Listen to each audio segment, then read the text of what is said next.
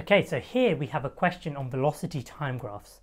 It says a child drops a ball, the ball hits the ground and bounces. The graph below shows the velocity time graph for the ball from when the ball is dropped until the ball reaches the top of its first bounce. So it's been dropped, it bounces, and then it reaches its maximum height from that bounce. And it's telling us that air resistance has been ignored here. So it's telling us describe the motion of the ball between the points A and B on the graph above. So from A to B, it starts at zero and then it reaches B. It's a straight line, okay?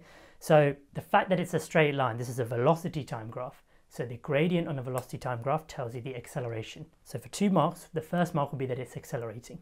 However, you can quickly gain the second mark because it is a straight line. So the fact that it's a straight line tells us that the acceleration is constant. So to get two marks, we don't need to fill the entire space. We can simply say that the motion from A to B is uniform acceleration and literally one mark for each word, one mark for identifying its acceleration, and the second mark for showing that it's uniform or stating it's uniform. In the second question, it says, what direction is the ball moving between the points C and D on the graph above? So you can see here C and D is what it's referring to, that point of the motion. So if we think about what it said, it said the ball has been dropped from a height, it reaches the ground, it bounces, and then comes back up. So let's follow that with the graph in my hand to show the path of the ball. So starting from A, we're at the top. We then let go of the ball, it falls, and it, at B it reaches the ground, which is why you get this sharp line straight downwards.